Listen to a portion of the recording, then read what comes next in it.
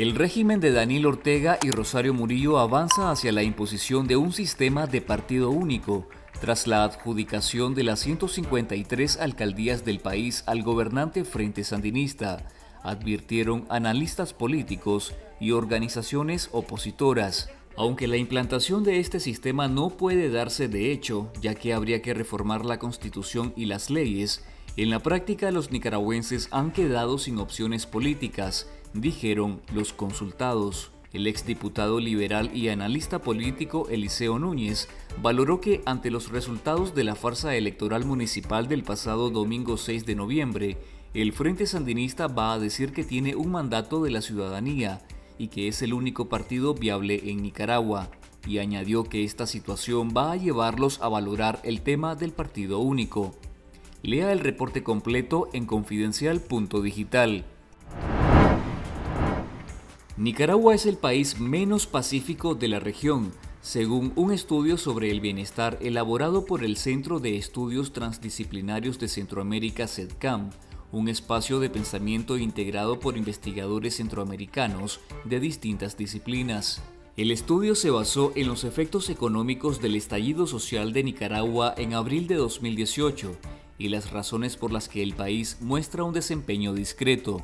Entre otros aspectos, el SEDCAM indicó que de 2017 a 2021, Nicaragua bajó de la posición 74 a la 130, de un total de 163 países en el índice de paz global como producto de una crisis que afectó la economía del país. El secretario de la Central Sandinista de Trabajadores, el sindicalista Roberto González, falleció este martes 8 de noviembre tras sufrir un infarto masivo, confirmaron sus familiares a través del portal oficialista El 19 Digital.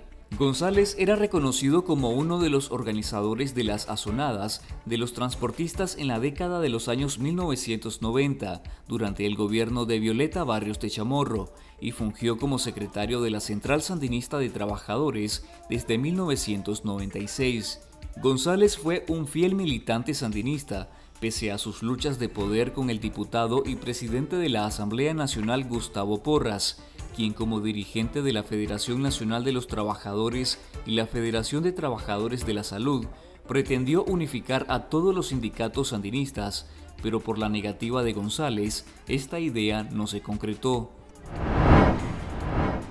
El gobierno de Daniel Ortega, a través de una iniciativa de ley presentada este lunes 7 de noviembre, mandó a cambiar de régimen jurídico a 29 organizaciones sin fines de lucro para pasar a ser sociedades mercantiles.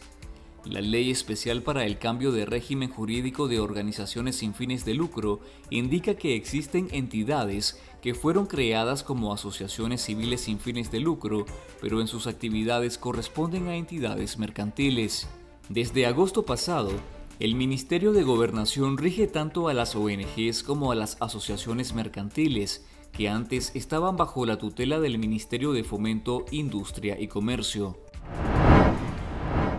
Los cantautores nicaragüenses Luis Enrique Mejía Godoy y Yandir Rodríguez iniciaron este sábado 5 de noviembre la gira Nicaragua Amor en la parroquia Nuestra Señora de Lourdes de Sevilla, España.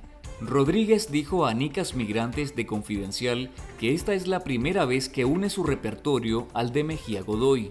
La gira llegará a Países Bajos, Alemania y Francia. En este último país ofrecerán un concierto gratuito en París el 30 de noviembre por la entrega del doctorado honoris causa a la presa política Dora María Telles por parte de la Universidad Nueva Sorbona.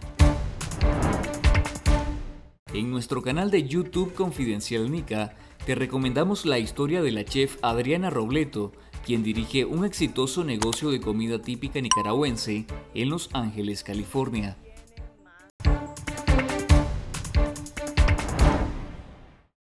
Gracias por ver este video para seguir derrotando la censura en Nicaragua. Si deseas apoyar el periodismo independiente de Confidencial con una donación, puedes hacerlo a través de nuestro canal de YouTube. Lo único que tienes que hacer es ir al chat de nuestras transmisiones en vivo y dar clic en el botón Super Chat. Así podrás agregar tu comentario junto a un donativo. También puedes dar tu aporte en el video que más te guste haciendo clic en el botón de Super Thanks. ubicado en la barra inferior de todos nuestros videos. Con tu apoyo seguiremos investigando y contando la verdad para informar a nuestras audiencias.